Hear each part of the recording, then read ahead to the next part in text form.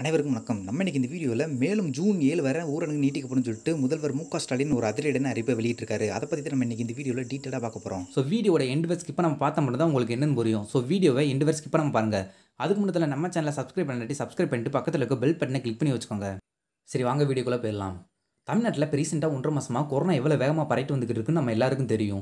So இதை கட்டுப்படுத்துறதுக்காக முதல்வர் மு க ஸ்டாலின் அவர்கள் வந்துட்டு மே பத்துலேருந்து மே இருபத்தி நாலு வரை தமிழ்நாட்டில் ஒரு சில தளர்வுகளோட முழு ஊரடங்கு அமல்படுத்தினார். இந்த முழு ஊரடங்கில் கொரோனா வந்து குறையிற மாதிரி தெரியலை. ஸோ இன்னும் ஒரு வாரத்துக்கு எக்ஸ்டெண்ட் பண்ண போகிறோம்னு சொல்லியிருந்தாங்க.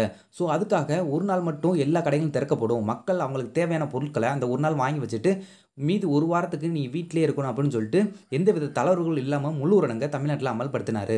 அது மட்டும் இல்லாமல் மருத்துவமனைகள் மெடிக்கல் ஷாப் இதை தவிர வேறு எந்த விதமான கடைகள் இயங்கக்கூடாதுன்னு சொல்லியிருந்தாங்க. அதுக்கப்புறம் மக்களுக்கு அத்தியாவசிய தேவையான காய்கறிகள்லாம் நீங்கள் வாகனத்தில் போய் விற்பனை செய்யலாம் அப்படின்னு சொல்லிட்டு ஒரு அறிவிப்பை வெளியிட்டிருந்தாங்க. இப்படி மே முப்பத்தி ஒன்று வரை எந்தவித தளர்வுகளும் இல்லாத முழு ஊரடங்கு தமிழ்நாட்டில் எக்ஸ்டெண்ட் சென்னை மாதிரியான பெரிய நகரங்களில் கொரோனா ரொம்ப குறைஞ்சிருக்கு. ஆனால் கோயம்புத்தூர் திருப்பூர் ஈரோடு இந்த மாதிரியான மாவட்டங்களில் கொரோனா தொற்று இன்னும் அதிகமாக இருக்குது ஸோ முதல்வர் இந்த மாதிரியான நகரங்களில் எப்படி கொரோனா தொற்றை குறைக்கலாம் அப்படின்னு சொல்லிட்டு ஒரு ஆலோசனை கூட்டம் நடத்தியிருக்காரு. அந்த ஆலோசனை கூட்டத்தில் என்ன சொல்லியிருக்காங்கன்னா எந்தவித தளர்வுகளும் இல்லாமல் முழு ஊரடங்கை ஒரு வாரத்துக்கு எக்ஸ்டெண்ட் பண்ண மாதிரி இன்னும் ஒரு வாரம் அதாவது ஜூன் ஏழாம் தேதி வரை இன்னும் எக்ஸ்டெண்ட் பண்ணால் இன்னும் கொரோனா வந்து தமிழ்நாட்டில் குறைவதற்கு அதிகப்படியான வாய்ப்பு இருக்குது அப்படின்னு சொல்லிட்டு சொல்லியிருக்காங்க. அதனால ஜூன் ஏழு வரை எந்தவித தளர்வும் இல்லாத முழு ஊரடங்கு தமிழகத்தில் நீட்டிக்கப்படும் அப்படின்னு சொல்லிட்டு மு ஸ்டாலின் ஒரு அதிரடியான அறிவிப்பை வெளியிட்டிருக்காரு.